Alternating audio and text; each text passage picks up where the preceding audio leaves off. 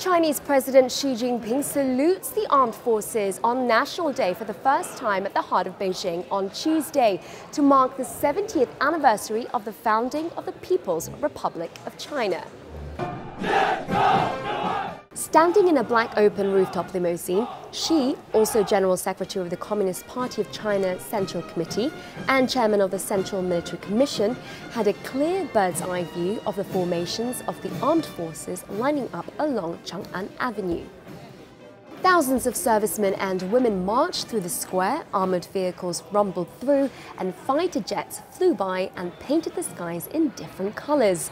The parade consisted of 15,000 personnel, 580 pieces of armaments, and more than 160 aircraft in 15-foot formations, 32 armament formations, and 12 echelons. The National Day Parade was the first of its kind since socialism with Chinese characteristics entered a new era and the first overall demonstration of Chinese armed forces after their comprehensive reform and restructuring in recent years.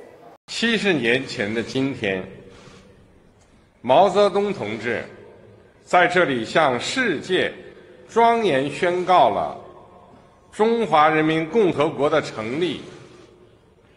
中国人民 从此站起来了，中华民族走上了实现伟大复兴的壮阔道路。Unlike the National Day Parade 70 years ago, in which many weapons of the People's Liberation Army were foreign produced ones seized from rival troops on the battlefield, all armaments showcased in the parade today were homemade. New weapons from the Dongfeng 41 intercontinental strategic nuclear missiles, H-6N long-range strategic bombers to new models of drones accounted for 40% of all armaments showcased in the parade. Among the several formations appearing for the first time in a National Day parade was China's peacekeeping forces. The country has remained the largest contributor of peacekeepers among the five permanent members of the UN Security Council. Currently, 2,500 Chinese soldiers and officers are serving in seven peacekeeping missions across the world.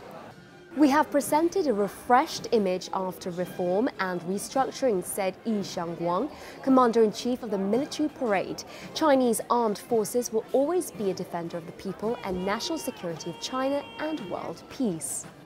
China will stay on the path of peaceful development, Xi said in his National Day speech. We will continue to work with people from all countries to push for jointly building a community with a shared future for humanity.